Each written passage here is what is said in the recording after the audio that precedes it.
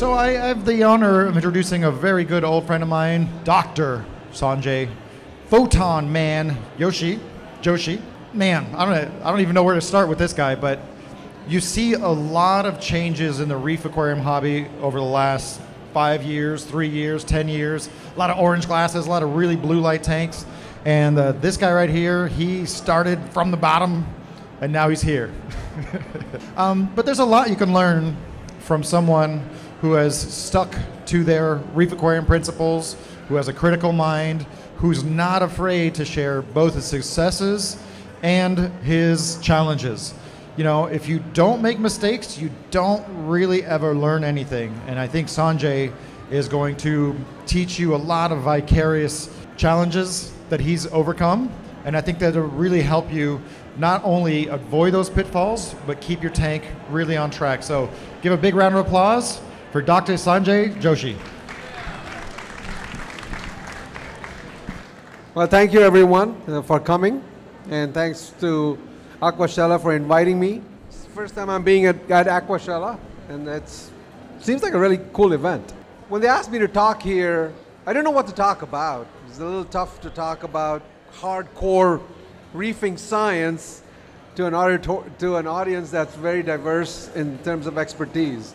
And this talk is basically came out of one of my conversations with uh, some hobbyists, and they said, you know, you've been doing this for 30 years, so it's all should be a piece of cake for you now. And I said, no, you know, after 30 years, I still struggle. All right, so don't get disheartened if you have to struggle when you're trying to learn about keeping reefs and so on. Right? So this is kind of I said, you know what, this might be an interesting talk, just to share with people that, hey, even people who've been doing it for 30 years we still struggle with some things, okay? And maybe in the process, at least you learn that things don't happen quickly.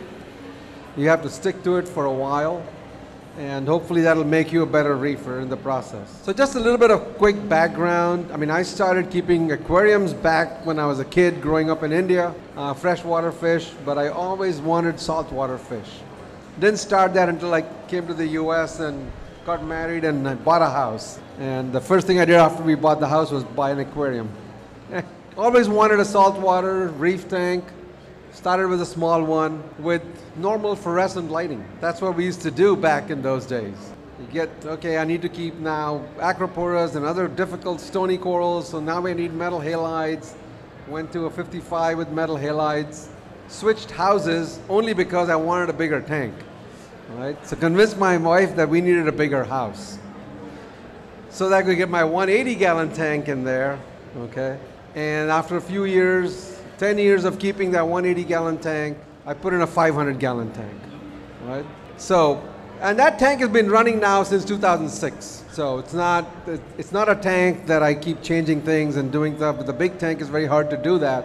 So I've been just letting it run, and it's been running now for 15 years over the years, like any other hobbyist, you know, you find your tanks multiply. They have a very bad habit of multiplying. At one point, I had 15 tanks in my house. When I got the 500, I made a deal with my wife. I said, I'll shrink it down to two tanks. Well, I'm up to five again. So now I have two freshwater tanks also. I've had fun with this hobby. I mean, like I said, I've been doing it for a long time. I, I like breeding fish too. So I bred some clownfish and I do that occasionally. Although in real life, I'm a professor of industrial engineering, right? I am not a biologist, I'm an engineering professor. So I treat my aquariums as an engineering project. So I want to think rationally and act rationally. So this is my 500 gallon tank. You can see the video in there. But yeah, so a lot of these corals in here are, some of them are 15 years old, right? So they've been in, in there for a long time. There's a coral in here that I got from Jake when Jake was an undergraduate student back in South Carolina somewhere. And uh, he gave me a little piece of it, and I still have it. That green one there, it's still there. It's about 14 inches in diameter now. So one of the things I like doing is I, I like to grow my corals big. I like to grow them huge. And the bigger they are, the happier I am with my corals. Like I said, the tanks multiply. So my other tanks are soft coral tanks only because they're a little bit lower maintenance and uh, more forgiving. So you would think after 25 years or 30 years now almost of keeping reefs, keeping a reef tank would be a piece of cake. So I said, ah, you know, I can set up a new reef tank and get successful right away with it. And I said, I'm going to do it the way people are doing it today. Right? In the past, every reef tank I had set up always started with live rock from the ocean. Well, these days, everybody's starting tanks from with dead rock. I've been hearing complaints about how struggle it is with this dead rock. So I said, you know what? I'm going to try it myself and see if I can be successful with a reef tank starting and doing it the way people are currently advocating how to do it. So I set up a 75 gallon tank with dead rock, dead sand, and started that tank up, filled it up with corals from my big tank, and thought I'd be very successful with it right away. And guess what? You can see this tank. It's covered with cyano. I was fighting dinoflagellates in here for a long time. Fought a lot of algae that was growing in there. And I did it by the quote book that everybody was being told in the hobby that this is what you should do to set up a tank, right? So I said, you know, let me follow this new, new strategy and see. And it didn't work. So why doesn't it work? Well, why didn't it work, right? I did the right things. I put dead corals, I, I put dead rock, I put dead sand, made sure there was no stuff that was going to come into my tank that was a pest, put the nice lights and everything else, and all I had was problems. But two years later, that tank looks perfectly fine, right? So one of the things that I've realized is that when you start with dead stuff, dead rock, that sand, give yourself a lot of time for the tank to be colonized by the right bacteria. The bacteria do a lot of stuff in these tanks. You can't see them, you don't know what they are, we know very little about them, but they are the things that work behind the scenes. And they're doing a lot of good stuff for you. The bacteria in the bottle, I was dumping bacteria in the bottle. Whoever told me this was a great bacteria, I said, fine, I'll try it. Doesn't really help much. The tank really has to age to a point where it can start sustaining corals, and a lot of these initial startup problems go away. Cyanobacteria, dinoflagellates, algae growth. This is part of a normal cycle if you're going to set up a reef tank today. And I think it's important to learn and at least realize that it's going to take a while before it's going to look good. Now, you might get lucky and it might look good in six months, or you might be like me and it took two years for I would say it looks good now. And I've noticed this with a lot of tanks. I told Mike Paletta that, and he's like, no, no, no, that, that's not right. It works. I'm like, okay, Mike, you do it. Right? So he did the same thing. And he basically tore down his tank after two years. He's like, it just it's not right. If it happens to you, just be patient. All right? Things do improve. They take time. Some of the other things that I've struggled with and I still don't have answers to. It's what we call coral RTN or rapid tissue necrosis. Your coral looks fine one day, you come back the next day and you see this. There's a big white patch with coral tissue just peeling right off of it. And while there's chunk of it dying, there's parts of it that are still alive. And this happens really rapidly. I mean, it's there. I went to work in the morning, came back from work, and the coral is basically gone. Or it can sometimes happen in a more of a slow pace, and slowly you'll see a coral dying and dying and dying. It takes a while before it completely dies. It's a slow tissue necrosis. The slower one, at least you have some chance. You might be able to save the coral if you made frags or did something. With RTN, it happens so quickly that it's gone. It's gone in hours. After all these years, we've seen this happen in many, many, many cases, but we don't have an answer to why it happens. I don't think there's anybody who knows why it happens. If they tell you they know what, why it happens, they're probably lying. There's no answer to this yet. So that's one thing that I still fight with sometimes. The other big problem in this hobby has always been these pests. And these seem to have increased as we've gone to coral farming and importing maricultured corals because they probably grow them in areas where there's not many predators to eat some of these, and they come in and they can be really nasty, right? So there's these uh, acropora eating flatworms. You get them in your tank, in a 500 gallon tank, which is packed with acroporas, you're never going to get them out of there. You know, there's no easy way of getting them out. So the easiest way of keeping them out is to not let them in in the first place. I've been really careful trying to do that, but still they get in, somehow or the other. Sometimes the eggs are attached to the rocks. You don't see it. So pests are really nasty. And once they get in, the only alternative sometimes is to tear down the tank and re-put the corals in and, and so on. And when you have big corals like mine, I'm not doing that. It's impossible to do. unless I destroy my tank. So I just let it go. I'm like, all right, you know, we can find some harmony where the pests can live with the corals and not destroy my corals. And I found it works. I mean, I my tank has flatworms right now even, but it still looks pretty good, right? So there is a balance where if things are right, the pests are there, but they kind of stay there. They don't get overwhelming in numbers. But then you can have these other pests like these nudibranches that eat Montiporas. Those will not live in harmony with the Acropora. They will destroy the Montiporas. If they get on the Montipora, it's gone. And nothing will stop them unless you essentially get rid of all the Montiporas and throw them away, essentially. Or try to treat them and treat them and so on. So those are pests are one thing that I still struggle with. And these are the only ones that I know of. I'm sure there's other pests that are in there. Like I'll find euphyllias that are doing great for a year, and then all of a sudden they get this brown jelly and they're gone. No reason. I can't find a reason that explains it, right? But it happens. Other things that I struggle with sometimes is so these myster- I call them mysterious fish deaths. These are fish that I've had for years and years, and they're all healthy fish. And then you come in one day and see them lying there dead. I have a habit of going to my tanks at night before the lights go out and make sure things are okay. And then in the morning before going to work, I make sure I check on them again. The night they were perfectly fine. Came back in the morning and they were dead. And these were my this is my tank with all my expensive fish, right? So I had a pair of caramabis, I had joculator, pair of joculator angels, a gem tang, dead. Can't explain what happened. Again, and now you go through the trouble of restocking and finding these fish and getting them back in there. And then two years later, similar thing happened. And I'm like, this is really bizarre, you know? There's got to be a reason. There's got to be a reason. And this time around, I actually saw the fish struggling and dying in front of my eyes. Took them out, put them in a different tank, and the fish, one of them at least, kind of came back to life. And I said, there's got to be something toxic in the water that got in there somehow. After exploring and digging and everything, I found a cause. It was a sea cucumber that got caught in my pump, and the toxins from the sea cucumber killed the fish. And this is a sea cucumber I've had for 10 years, right? So now you think it's a benign, it's benign, it's not done any harm. That's a great sea cucumber to have in your tank. It's a ticking time bomb. It came in and overnight. So now I got the reason for why these other ones died because I had two sea cucumbers, and the first one killed the first batch of fish, and the second one killed the second batch of fish. So, yes, putting sea cucumbers in your tank might be a good idea, but be careful that that could lead to problems down the road.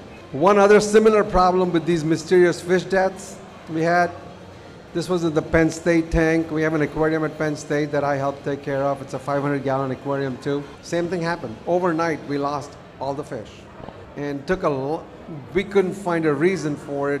I talked to all the, t- the big names in the hobby, like, give me a reason why this would happen. I'm like, nope, I didn't turn off the pumps. The pumps were running, everything was fine.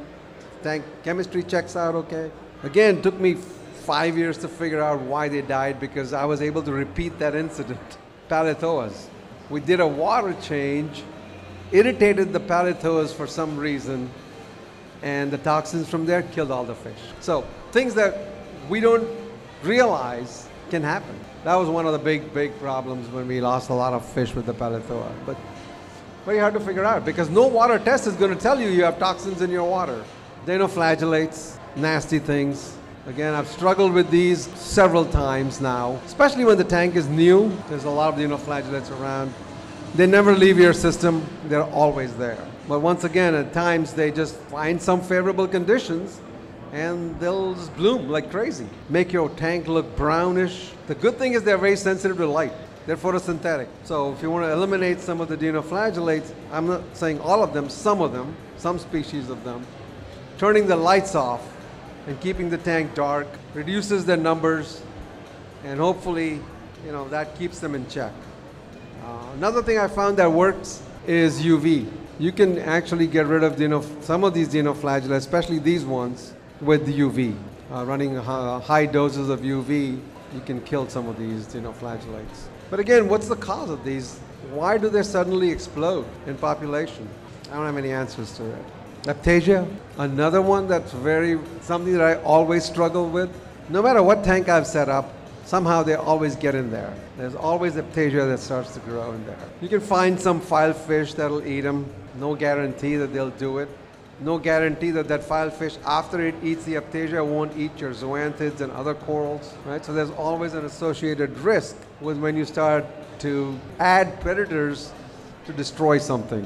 Uh, I found that the copper bands will eat them and keep them in check, but copper bands themselves don't like to live long enough in my aquariums for whatever reasons. The Australian one, what's that called? Uh, marginalis. That's a much better fish. And that kept all the Aiptasia in check. But you think the Aiptasia is gone from the aquarium?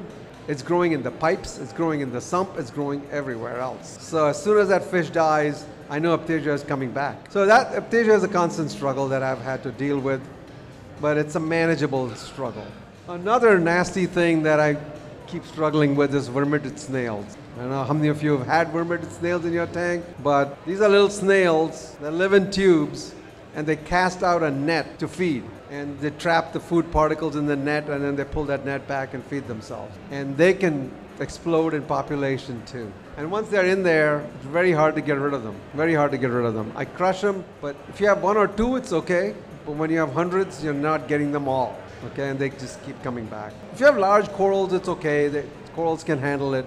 But when you have small frags and you have these vermeted snails growing adjacent to the frags. That net that they keep putting on the frags will ultimately kill the frag. Haven't found any good predators for vermeted snails. Clams, I've tried many, many, many times to keep clams. They last for a few years and then they're dead. I have a nice collection of shells in my bathroom now, you know, display. That's only half of them. So over 25 years, I've tried a lot of them. And I've even got them small and I've grown them out to four or five inches. And then they're done.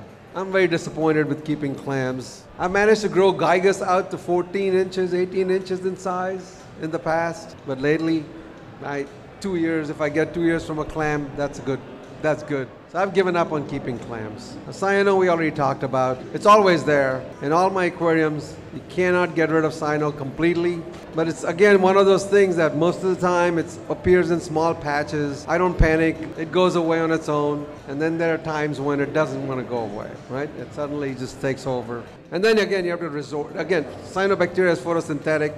So turning the lights off for a few days helps. And antibiotics will kill it. But again, with antibiotics, you don't know what else you're killing with it, right? You've got lots of bacteria in your tank. You might be killing off a lot of good bacteria. Other flatworms that I've experienced over the years, these appear on soft corals and they can multiply. These are not the planaria. These are different than the planaria right? These are the acoelomorph flatworms that, once again, the population just exploded one time. Nothing wants to eat them. And I've gotten to the habit now where I go, I'm not fighting this. Let it go. It's not harming the corals. They just kind of cover the corals up and irritate them. Six months later, they're gone. Not, I mean, I'm not saying they're 100% gone. There's a few might be around, but they're not around in such large numbers. My philosophy has always been I'm not rushing out to solve these problems right? Let me give them some time to resolve themselves, and oftentimes they do. They'll resolve themselves. Other problems that I've run into, it's a good problem. Like I said, I like to grow my corals big,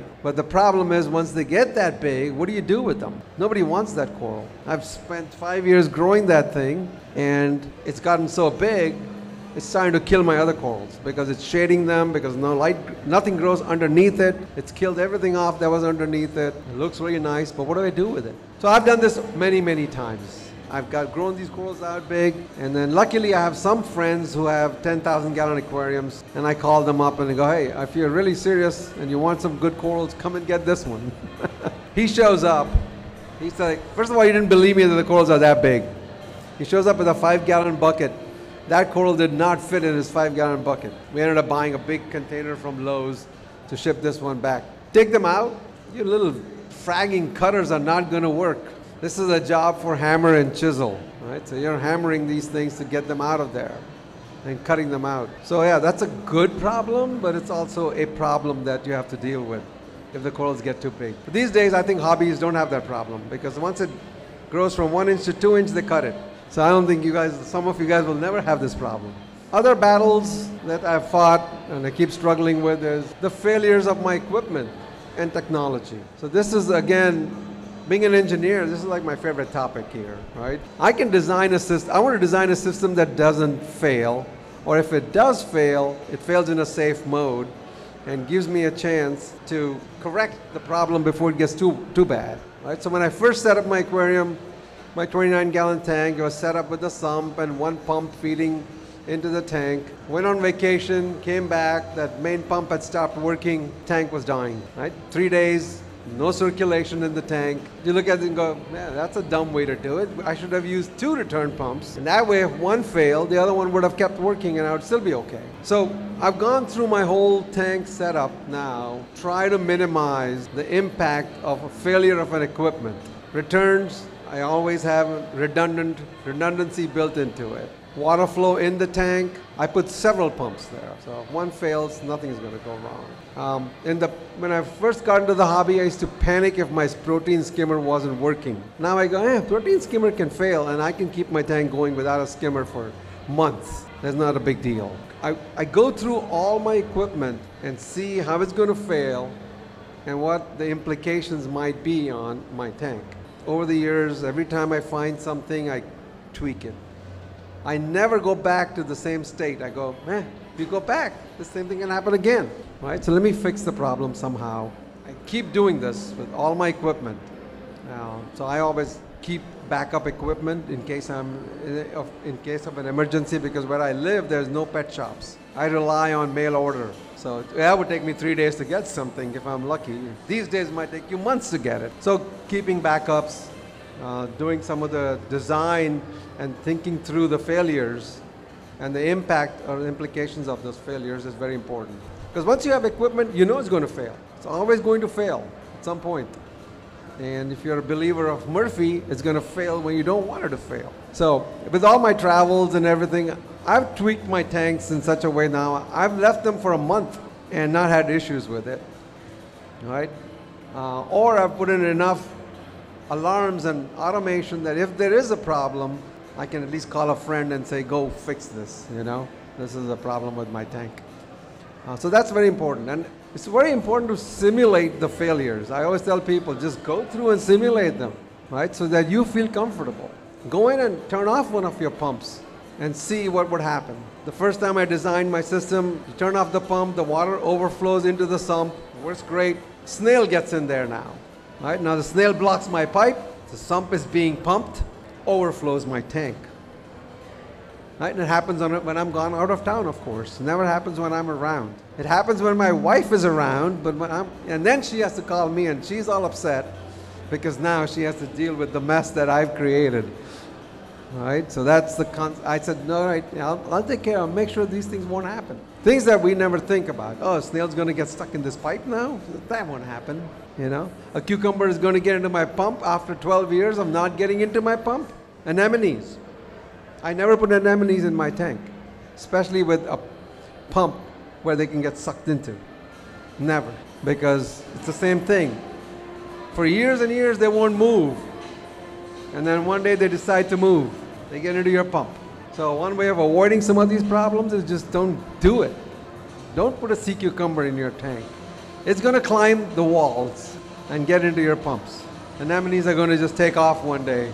So in spite of all of that, I've taken care of my equipment. I don't like to use what I would call like a single point of failure that would destroy my tank. And controllers are one of those things. Right? People put so much faith into a controller that they have their tanks running on full automation using the controller. If the controller dies, you're done. You've lost all control of the tank. So I use controller. I like the controllers, but I use them as a monitor. I don't let the controller make any decisions on my tank. I make those decisions. Let the controller send me a message, and I'll take care of the problem.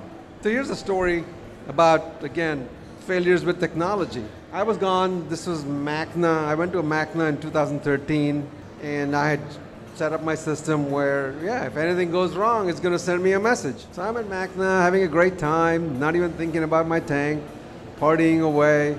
Came back home, parked my car in the garage, opened the door. I told my wife, you deal with the car and the bags and everything. My tank is dead. She goes, no, it's not. Well, how do you know it's dead? I can smell it. I can smell the dead acropora already, you know. So I run down there, and I said, "What, what the hell happened here?" You know. So if, if something was going to go wrong, it should have told me something was wrong. So I, dead fish floating up there. I, I go to grab the fish to take them out, and the water felt really hot. And I said, "Really? The water is that hot?" So I looked at my controller. The temperature was hitting 90 degrees every single day that I was gone. But I still had some fish alive and, and stuff. So first thing I did was send my wife off to go get bags and bags and bags of ice. so I'm like, how do I bring the temperature down? It's at 92 degrees, you know, and fish are dying. So I dumped ice in there. Ice was melting so fast. It took a while before the temperature started to drop, and you can see in that graph, it started to come down, right? But then I went back and said, what, what failed here? Controller is working, it's recording everything correctly, but I got no message from the controller. The temperature is 90 degrees. The service that I was using to send me the message changed their protocol, and I didn't get any message. And that just happened two days before I left for the vacation. So I didn't even probably ignored their email or whatever and didn't pay attention to it and became a victim to this problem. So now, how do you fix that problem? Right? This can happen to anybody, right? Controller doesn't send you a message because of some fail. So now I have my controller set up to send me a message every day at 9 o'clock in the morning. So every day at 9 o'clock in the morning, my phone buzzes. My wife goes, Your mistress is calling you. but yep, so if I don't get that message 9 o'clock in the morning, I know my controller is not talking to me. Right? So that's one way of me trying to solve this problem. But yeah, it, it's not fun when you have to do this, you know? When you have to go in and hack out tons of dead coral because of one simple problem with technology and equipment. So that, that was really nasty again. I lost not a whole bunch of fish, expensive fish. And then the last thing, these fall into the category of what I call stupid human mistakes. It shouldn't even be human mistakes, it would be stupid Sanjay mistakes. There are things that we do, we don't realize, and then you go back and say, damn, why did I do this? You know, why do I do this? And that's cost me several losses too in this whole process, right? Uh, one time in a rush, was leaving somewhere, I had to get the water levels were low, I had to do some water changes, and I didn't have enough RO water. I used tap water. I said, eh, you know, what, what's tap water? It's a little bit of tap water. Those chloramines messed up my tank. That's what I call a stupid human mistake. Or sometimes I'll leave a hose in there. I did a water change, left the hose in there, unplugged it from this side, didn't unplug it from the other side, and it just siphoned the whole tank out. Stupid human mistakes. So I'm sure we've all done that. I've done that. And these are the ones that are the hardest ones to take care of, right? Because you're making those mistakes. It's not technology. There's no other reason except either being lazy or being forgetful or taking a shortcut when you shouldn't have. That's what I've learned over 25 years. And I keep my fingers crossed that I have my tanks now at least dialed in to the point where a lot of these things shouldn't happen. There are things still that can go wrong, right? Uh, this is another situation that happened one time. I don't plan for it. I had my metal halides hanging up on the tank using a pulley so I could pull them, move them up and down. Uh, one day the metal halide, the pulley broke and the metal halide went crashing into the tank. That tank could not keep fish for two years after that. The metal halide exploded in that tank. Right? So all the metals that are in those gases and everything that they put in the bulb just poisoned that tank. Two years, you couldn't keep a fish in there. So things that you don't even think about. Uh, who thought the pulley would break? Now, if I have something hanging, I make sure that it's not hanging by one chain. It's got two. it's going to at least have a chance of not going into my tank.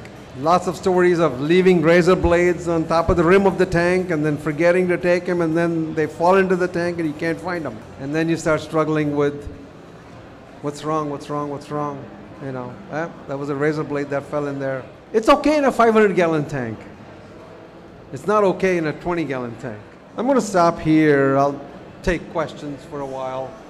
If anybody has any questions. the question was, what do you hope to learn in the next 25 years? I hope I'm not going to make the same mistakes again. Right? So I'm hoping by now I've shrunk the number of mistakes I can make. But the nice thing about this hobby is there's a lot to learn. Not just about keeping stuff alive, right?